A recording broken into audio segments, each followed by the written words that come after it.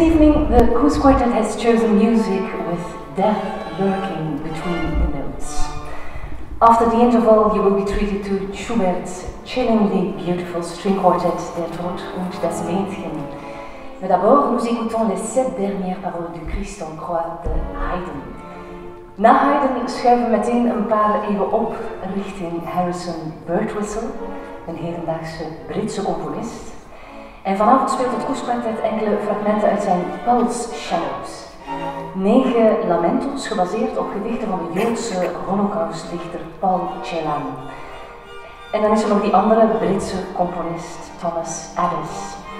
Arcadiana is een vroeg werk van hem.